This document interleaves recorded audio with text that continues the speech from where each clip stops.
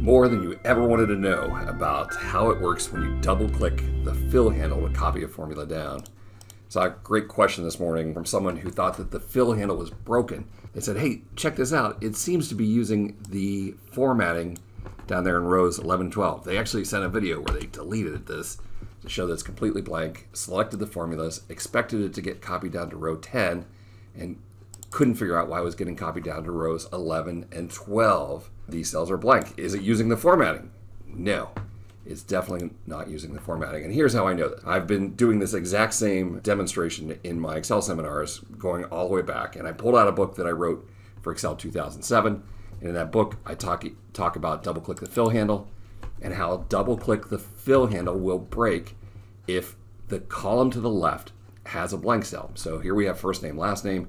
If you happen to have Cher or Madonna or Prince or Pele, they're in A10 and B10 is blank, double click the fill handle would stop at row 9. This is something I always warn people about. But when Excel 2010 came out, and then I wrote this book, Rev Up to Excel 2010, Upgrader's Guide to Excel 2010, right on page 102, I said that they've improved double click the fill handle and it now uses all of the columns to the left. So here it finds its way to the bottom, even though cell B10 is blank. It was a great improvement back in Excel 2010. The way that you can think about this is let's say I was about to double click the fill handle here from C2. It's as if you press Control asterisk, which is a shortcut key to select the current region. And you see that Control asterisk goes down to row 16. The formatting here in 17, 18, 19 is ignored. And so when I double click the fill handle, it's going to go down to row 16. Beautiful. Also in Excel 2010, they started looking both to the left and to the right. So if for some reason this data in the right goes down further. Here it goes down to row 18. Again, control asterisk would select down to row 18. So when we double click the fill handle, it's going to go down to row 18. And sometimes I love to show off that this works even if the, it's just a diagonal connection. So from C2, it goes to B3 and then A4, right? It, it has no problem following this.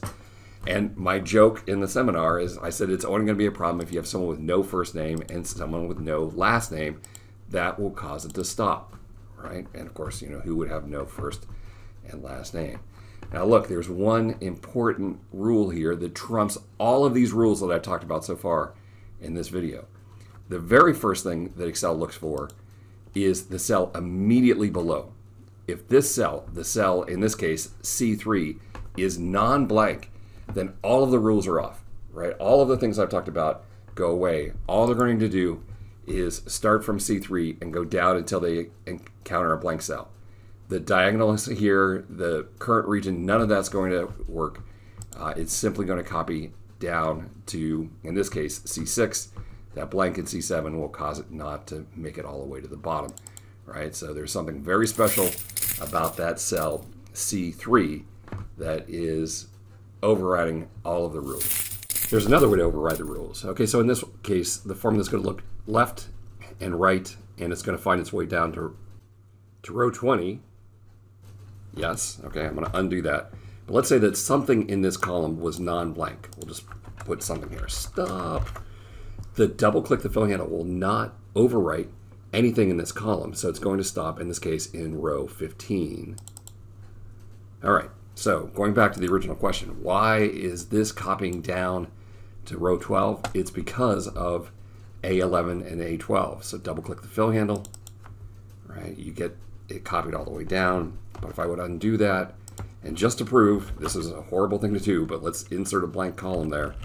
Uh, and now that I've separated uh, the names in A from the data in C, it will only copy down to the right spot. So I think the solution is that second exception. Let's, instead of clearing these totals, fill the totals in and copy them over into these cells. And the averages, copy them over into those cells. And now when we double click the fill handle, what's it going to do? It's going to do control asterisk, which says go down to row 12.